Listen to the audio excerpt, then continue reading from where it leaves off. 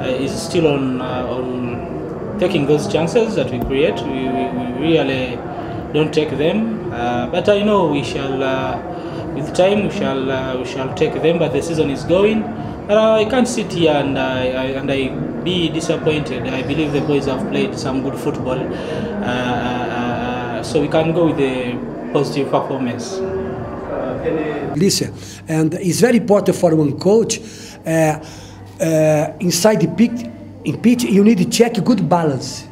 For example, defensive and offensive system. You know about this. I think Karim, Karim, he's young. Okay, Bright, he's young too. You understand?